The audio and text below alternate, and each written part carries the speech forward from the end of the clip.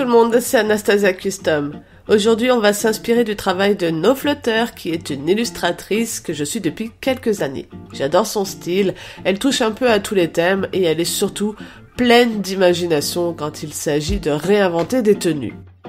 J'avais déjà euh, réalisé quelques custos inspirés de son travail et aujourd'hui on va réaliser cette fée florale en tenue très légère. Pour le modèle de poupée à utiliser, j'avais d'abord songé à travailler sur Claudia Wolf, qui a la couleur de peau parfaite, mais malheureusement son corps est bien plus grand que les Monster High classiques, et j'ai donc dû opter pour sa petite sœur Claudine Wolf, à qui on va simplement repeindre le corps.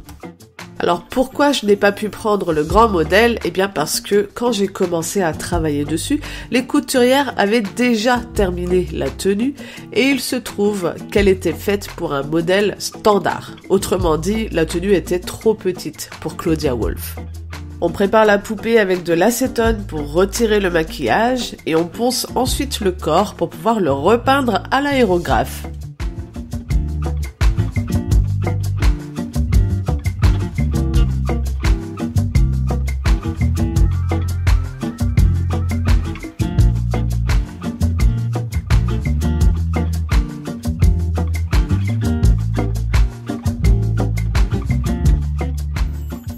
Pour l'aérographe, vous le savez, comme toujours, j'utilise de la peinture acrylique de la marque Arteza, diluée légèrement avec de l'eau.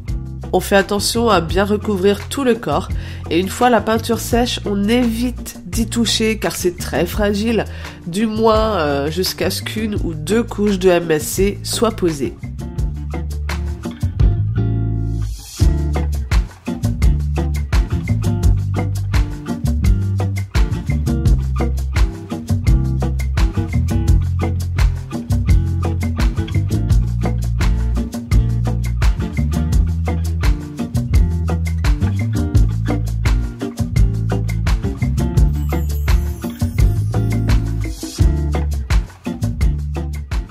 Attention également avec vos mélanges de couleurs quand vous utilisez l'aérographe, parce que bien souvent votre peinture va s'assombrir en séchant.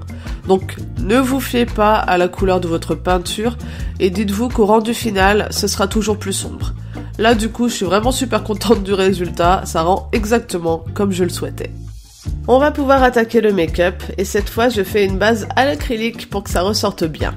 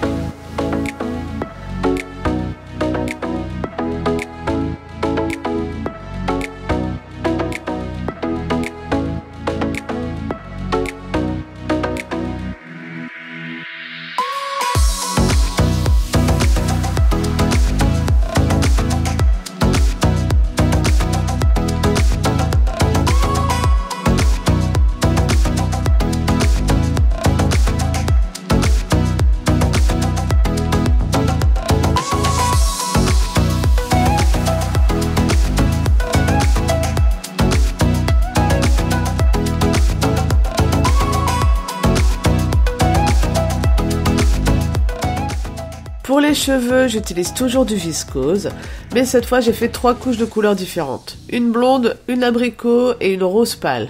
On va attacher tout ça en hauteur et les boucler un peu en bataille pour rester euh, le plus fidèle possible à l'illustration.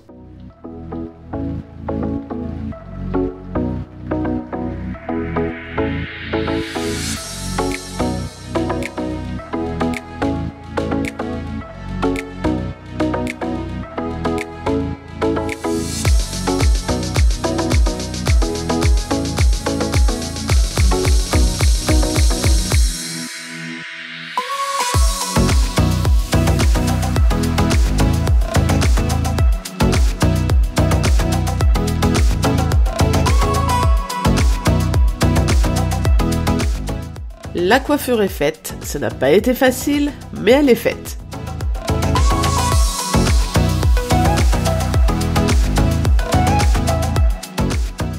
Pour la tenue, j'ai fait appel aux procréastinatrices associées qui ont l'habitude de travailler sur les projets No Flutter et une fois encore je suis épatée par leur talent. Regardez-moi ces détails je suis tombée totalement sous le charme de la combinaison des couleurs de cette custo.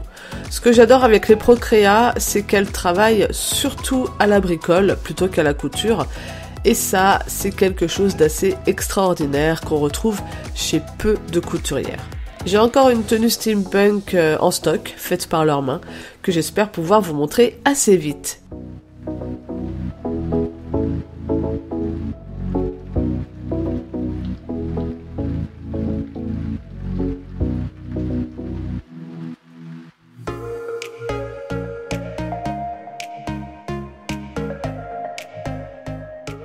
On peut retirer et replacer les ailes comme on le souhaite, puisqu'elles tiennent grâce à un système d'aimant. Alors c'est une technique que j'utilisais beaucoup autrefois et que j'ai fini par totalement oublier par mon plus grand regret.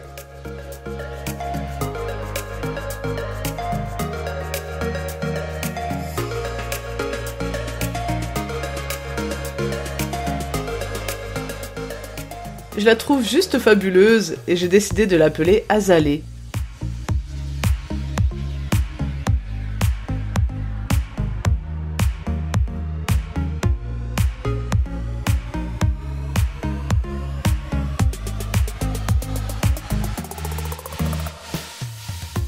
Si vous êtes intéressé par mon travail, sachez qu'il me reste des poupées disponibles à la vente, donc n'hésitez pas à m'envoyer un message privé sur Facebook ou Instagram pour plus d'informations, je réponds à tous les messages. Vous trouverez les liens dans la description de la vidéo.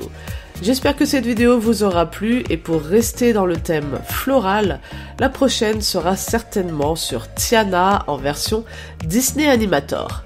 Tchuss